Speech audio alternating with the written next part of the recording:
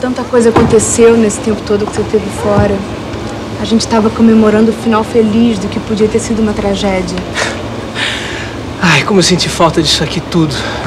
Isso tudo, de todo mundo. Mas. Mais do que tudo de você, Bela. Amor, a gente já sofreu demais. Não vamos mais dar corda pra esse assunto, não. Eu entendi a sua posição. Foi uma escolha que você fez. Ai, fui barra, sabia? Fui barra, você não sabe o sufoco que eu passei. Eu também vivi dias muito difíceis. Eu fiquei muito triste. Mas eu não guardo rancor, não. Eu sei o quanto sua família é importante, a sua carreira. E eu acho também que eu não estava preparada para me casar agora. Sabe que eu também não? Eu acho que essa é uma forçação de barra. A gente é muito novo ainda, né? Quer dizer, então, você ainda não desistiu da gente? Imagina, que isso? Nunca, nunca, nunca me passou isso pela cabeça. Me escreve. Me liga sempre que você puder. Eu vou te ligar todos os dias. Ligação internacional é muito cara. Você já vai estar estudando em Los Angeles e mesmo seus pais bancando. Olha, Bela, durante todos esses dias, eu andei pensando com calma e, e cheguei a uma conclusão.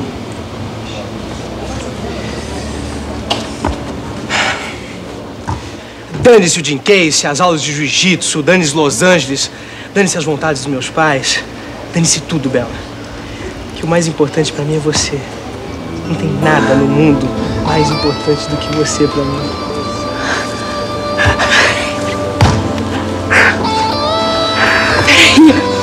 Peraí, eu não tô entendendo. Você tá querendo dizer. Vou desistir de viajar assim. Vou poder te ligar todos os dias. Eu só queria viajar lá mesmo pra poder casar com você.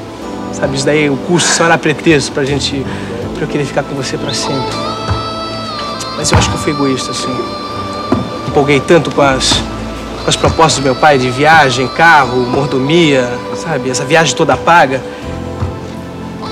Que acabei esquecendo do mais importante.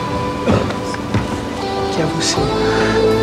Esqueci do que você quer, que você acha, das suas vontades, dos teus desejos, dos seus planos. Amor, eu nunca te vi falando assim. Tão maduro, tão adulto. É, mas tem que crescer, né? Eu só quero saber se você tá comigo nessa. Eu te adoro. Eu também. Então eles voltaram, é, vó? Quer dizer que eu vou ter finalmente um pai de verdade? Ô, Fábio. Ai, tá bom. Pai que me leva pro boliche, que me leva pra comer pizza, me leva no Maracanã, me dá presente, me leva no cinema. E ainda por cima faz a minha mãe esquecer um pouquinho de mim dos meus boletins. Ah, e você acha que o Roberto não vai se preocupar com as suas maravilhosas notas de matemática, né? Mania, pra isso servem os pais que não são pais de verdade. Pô, o Roberto nunca vai poder me aborrecer, porque senão crise familiar e balbal o casamento.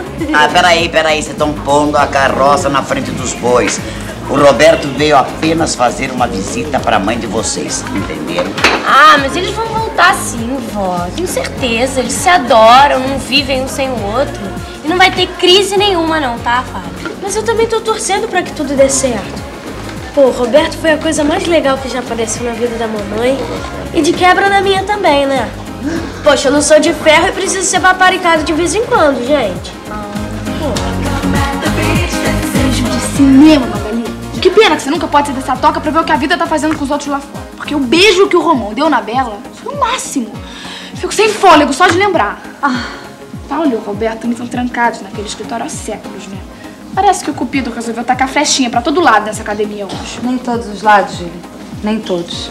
Ah, não desanima, Magali. Olha, o telefone vai tocar agora. É só você ter um pouquinho de energia positiva. Sabe o que é, Magali? É que as linhas estão congestionadas, entendeu? Mas daqui a pouco o telefone acaba tocando. Você, só você ter um pouquinho de paciência, de fé.